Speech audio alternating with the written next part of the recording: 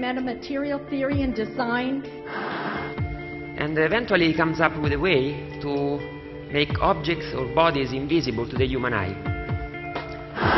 Uh, there was a lot of imagination on how we could make uh, objects or persons invisible to the human eye. for unique contributions to metamaterials.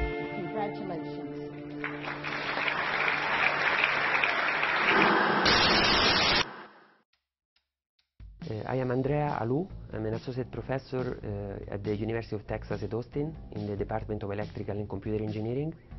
Um, I am the 2015 uh, NSF Alan T. Waterman awardee and uh, my research is in the area of metamaterials and plasmonics. The idea was that we can engineer material properties to change the way in which objects scatter light or electromagnetic waves.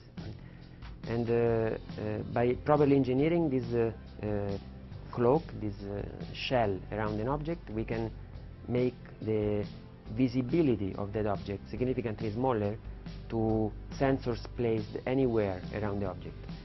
Uh, with our eyes we see objects by uh, detecting a portion of these scattered waves that hit the surface of the object and uh, if we are able to tailor this metamaterial shell to suppress those waves then we are able to make the object undetect unde- undetectable. Yeah, first of all, I'm very thankful and uh, excited to receive this award. It's a fantastic recognition, and it's a recognition to all my group, but also to the field of metamaterials.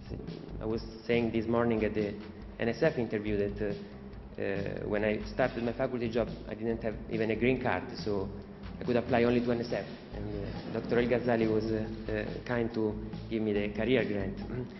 This award will allow us to uh, push these concepts forward uh, in many directions. We have many ideas and having uh, a big research award to push these directions without strings attached is fantastic.